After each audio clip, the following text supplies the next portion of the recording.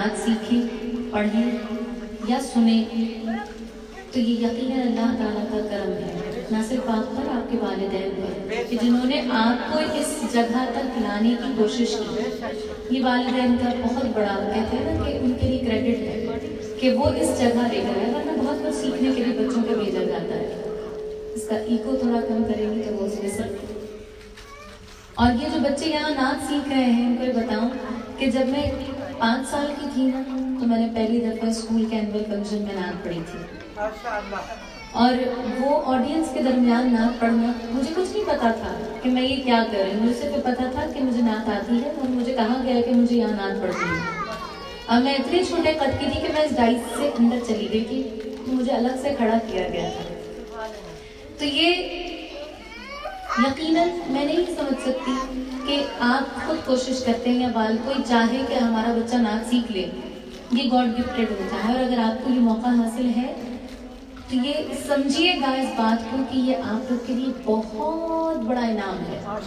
इससे बढ़कर इनाम कोई नहीं हो सकता। कितने मुकाबलों में चले जाएँ, कितनी जगह पर आप कामयाब हो जाएँ या हार जाएँ, लेकिन नाच पढ़ने से बढ़कर आपके लिए अल्लाह ताला की तरफ़ से इनाम कोई नहीं। क्योंकि नात वो काम है जो अल्लाह ताला ने कुरान पाक में अपने रसूल सल्लल्लाहु अलैहि वसल्लम के लिए अदा फरमाई है। वो अल्फाज जो हजूर की तारीफ़ में वहाँ अदा हो गए, कोई कर नहीं सकता। हम सुन्नत इलाही अदा करते हैं।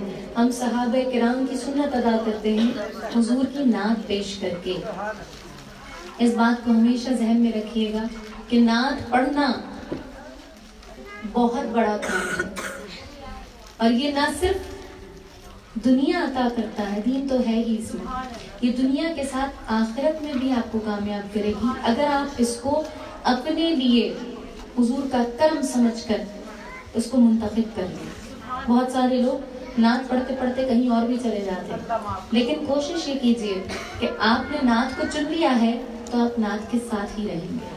इन अल्लाह ताला आप सब कोमल की तोफ़ी अता फरमाए। और हम सब जो यहाँ बैठे हैं, नात असल में क्या है? अला हज़रत रजा खान बरेलवी रहमान फरमाते हैं आखिरी बात करके इन मैं अपनी नात का आगाज़ करूँगी। आपने फरमाया कि अगर किसी शख्स को अपने दिल में इश्क रसूल पैदा करना या उसको बढ़ाना मकसूद हो, हुजूर की मोहब्बत बढ़ाना मकसूद हो तो उसे चाहिए। तो कुछ अलहान समा खानों से नाच सुना करो। नाच इतना बड़ा काम है कि आपके दिलों में हुजूर की मोहब्बत बढ़ती है। क्यों? और मोहब्बत रसूल सल्लल्लाहु अलैहि वसल्लम कितनी ज़रूरी है? बस एक हदीस सुनाकर आप समझ सकते हैं उसके मफहूम से कि हुजूर पाक सल्लल्लाहु अलैहि वसल्लम ने फरमाया कि कोई शख्स उस वक्त तक कामिल, मोमिन नहीं हो सकता। उसका ईमान मुकम्मल नहीं हो सकता जब तक कि वो मुझसे अपने माल औलाद माँ बाप माँ बाप और दुनिया में जो कुछ हासिल है, उन सबसे बढ़कर मोहब्बत ना करे। तो सोचिए नात कितनी कारगर साबित होती है उस मोहब्बत को बढ़ाने के लिए। हुजूर अकरम सल्लल्लाहु अलैहि वसल्लम की मोहब्बत बहुत ज़रूरी है, क्योंकि उससे ईमान, मुकम्मल ईमान की बुनियाद है और वजह यह है कि हम हुजूर से मोहब्बत करेंगे तो नेक अमाल की तरफ़ बढ़ेंगे। उन कामों की तरफ़ बढ़ेंगे जो हजूर ने हमें बताए हैं। वो रास्तों पे हम चलेंगे इंशाअल्लाह अल्लाह ताला हम सबको अमल की तौफीक हम दिया दुआया कलाम से आगाज़ करेंगे। मेरे साथ मिलकर अल्लाह की बारगाह में हम का नजराना पेश कीजिएगा। या हय्यो या या हय्यो या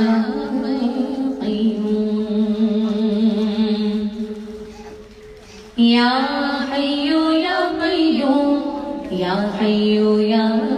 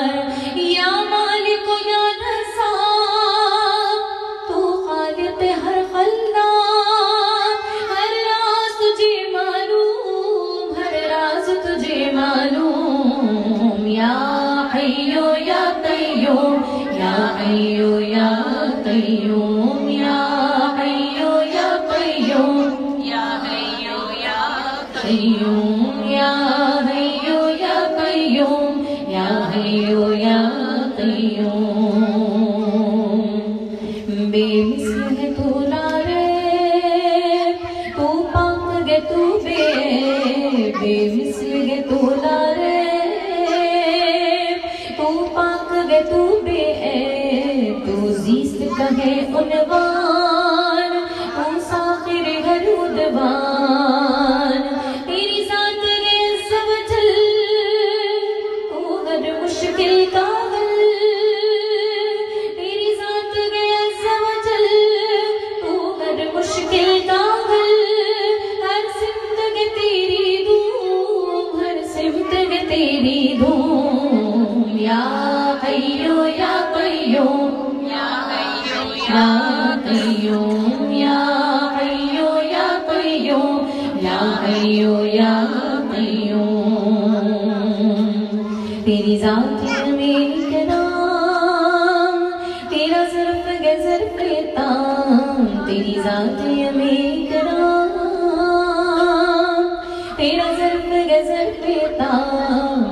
one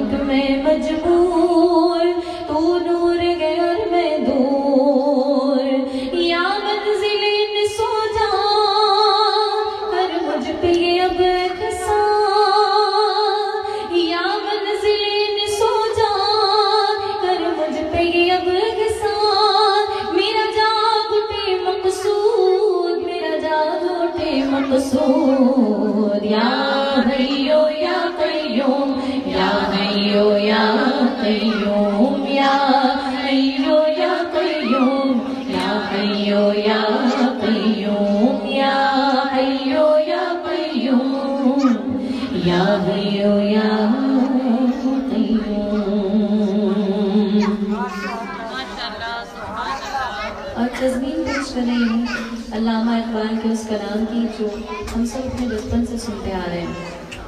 और तजमीन लिखी मुफ्ती आसम ने। और बहुत खूबसूरत अंदाज में उसकी तशरी पेश की है शार की सूरत में। मेरे मोला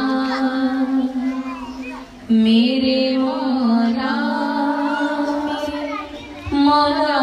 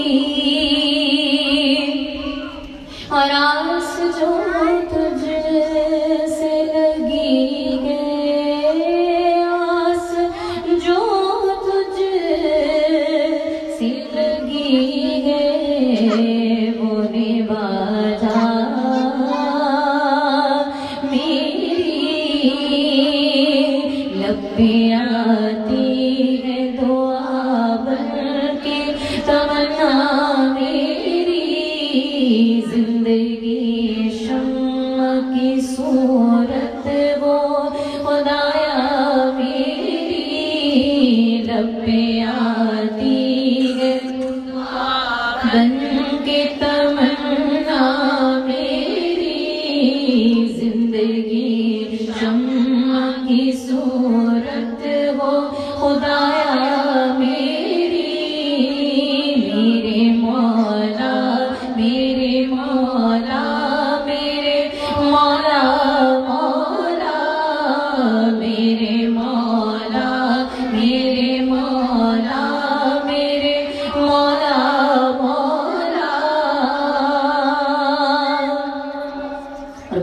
उम्मत कवि हम दोष सुरैया हो जाए शब किया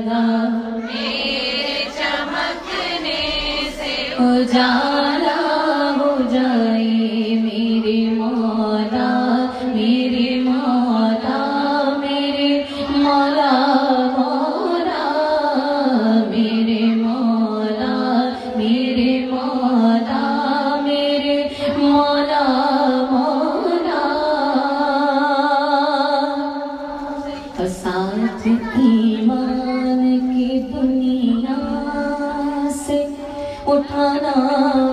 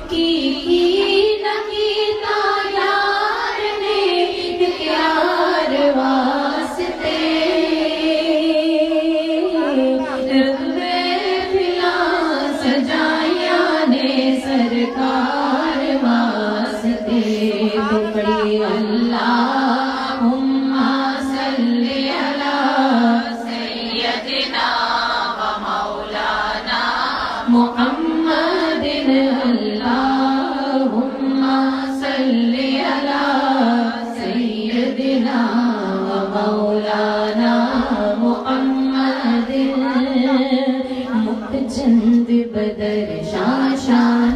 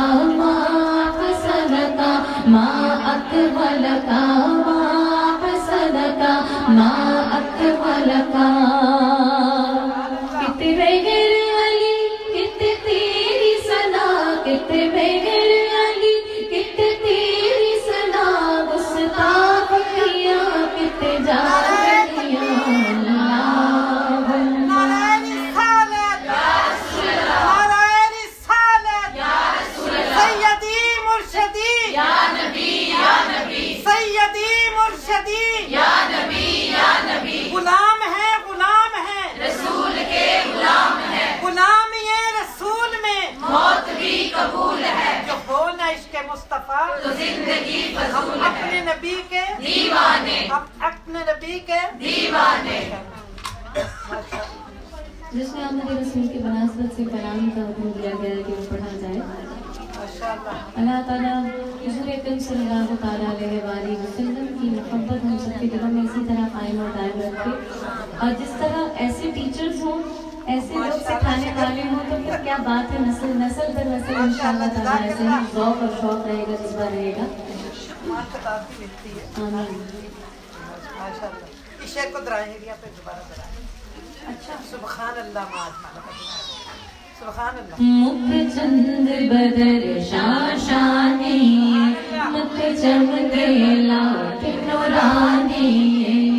कहीं जुल्फ पे अख मस्तानी